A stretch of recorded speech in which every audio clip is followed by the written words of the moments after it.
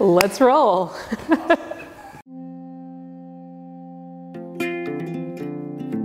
Kids, don't try this at home.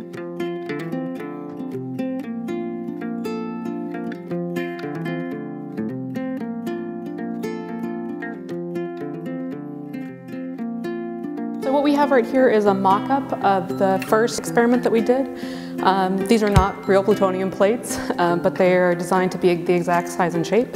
Um, so they're about uh, three inches by two inches by an eighth of an inch, uh, clad plutonium in stainless steel.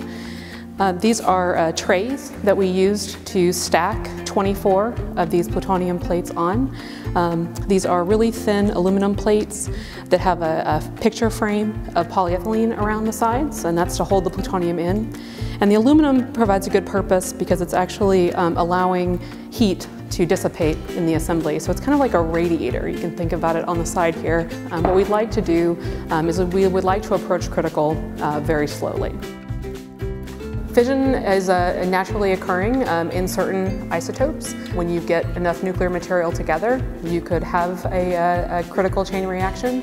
Um, these happen actually every day in uh, nuclear power plants, um, where they like to stay, you know, right at critical or uh, right below critical, so that they're producing um, lots of neutrons in a very uh, predictable way. So in our experiments, we're wanting to create assemblies um, in configurations with the plutonium and polyethylene uh, that are just critical. When we start the experiment, we want to put a known subcritical amount onto the table to start out. Um, so in our case, we started with half of a layer of plutonium. Um, so we just had our bottom reflector, one of these layers.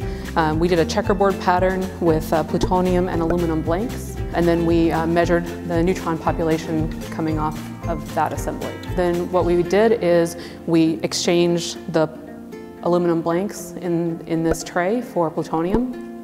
And uh, we took an another measurement. And uh, what we can do is we can actually plot inverse count rate um, versus the amount of mass we have in the assembly. And uh, then it allows us to do a safe extrapolation to how much mass we think will actually go critical in the assembly.